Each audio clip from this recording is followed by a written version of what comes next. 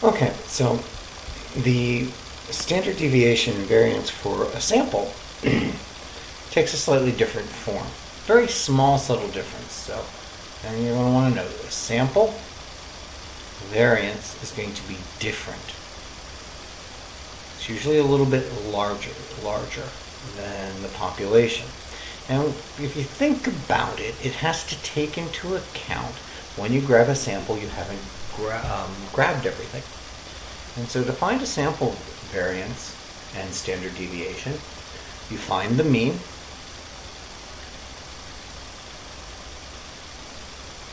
Of the sample, which we've been mathematically saying is x bar equals the sum of all the data divided by, and we're going to use little n to talk about the number in our sample.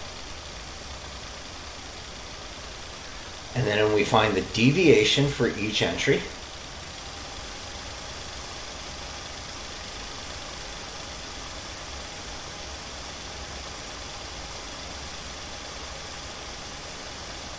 so we're looking at xi minus our sample mean.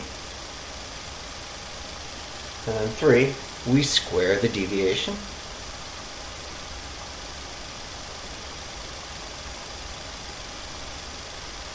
So we take this xi minus x bar and we square for each entry.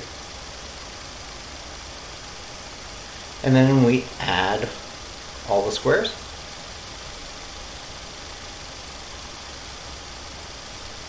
So we sum all of the squares of our deviations. Then in our variance,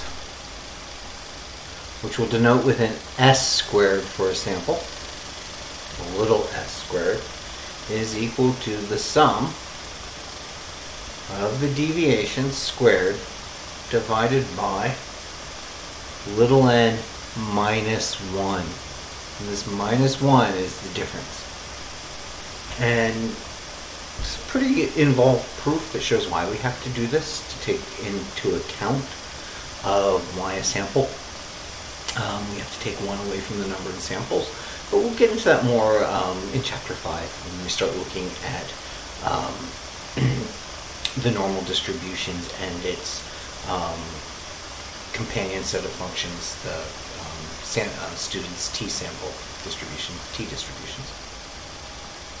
And so to find the sample standard deviation, which we'll note as a little s, that's the square root of s squared, or the square root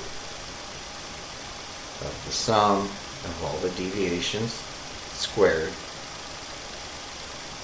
over n minus 1. And so that's a sample standard deviation. Let's look at one here. Again, we're going to use data from the book. Um, this is a study of high school football players. And in this study, um, players that recovered from their concussions in 14 days or less were replaced in group 1. Those that took more than 14 days were replaced in group 2.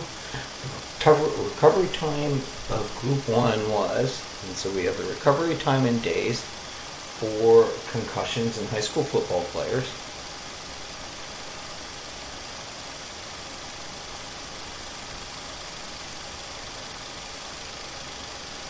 Get all my data in here.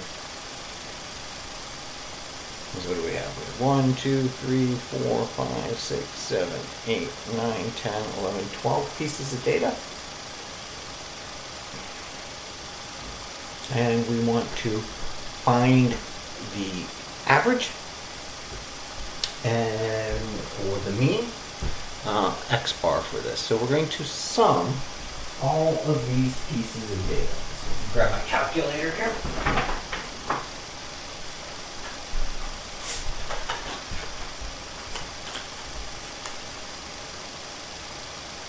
And so let's see here. 4 plus 7 plus 6 plus 7 plus 9 plus 5 plus 8 plus 10 plus 9 plus 8 plus 7 plus 10 I've got 90. So this sums up to 90. So the sum of all my data points is 90. And 1, 2, 3, 4, 5, 6, 7, 8, 9, 10, 11, 12. 12. Oops, so and, and so we'll say x bar is equal to that. And so 90 divided by 12 is approximately, not approximately, exactly 7.5. And so of the sample that we have taken, the recovery time is 7.5 days. And so what we want to do is we want to make a table of all the x sub i's. 4, 7, 6, 7, 9, 5, 8, 10, 9, 8, 7, come down a little bit here, and 10. And if we sum this up, the sum of these, the x of i is equal to 90, and so our x bar is equal to 7.5. And so our deviations are xi minus x bar, and we get negative 3.5. Again, this value minus 7.5.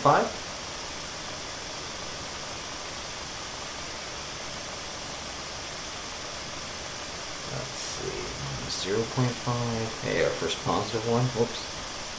Did I say first positive one and I write a negative sign? Fix that. Negative 2.5. Let's 8 give us 0.5. Now we get 2.5, 1.5, 0 0.5, negative 0 0.5, and a 2.5. So the next column, we want to square our deviations. So we square this, we square this, and notice we should get all positive results here.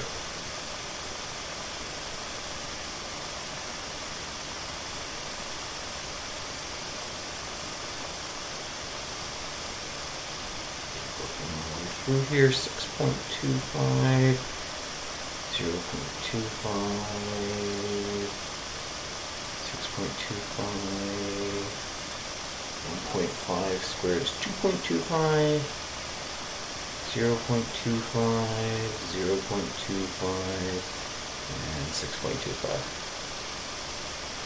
And so if I sum this column, every all the deviations, add everything into this column, I get 39. So my variance is going to be the sum of my deviations divided by n minus 1, or 39 divided by 11, which is approximately 3.5. And the sample standard deviation is going to be the square root of 39 divided by 11, which is approximately 1.9. And so we're able to figure out how um, the sample has a standard deviation. And so one of the things we're going to look at when we move back in towards using Excel is how to do these two different calculations for um, variance and standard deviation, we're going to have to make sure that we know if we're dealing with a population or a sample. All right, and what I'm going to do next is I'm going to uh, jump into some slides in the next video and look at what this data looks like and how that means we have to interpret standard deviations. And you're going to get something you don't get often from me, which is me looking at the slides that are your lecture notes and, and discussing those.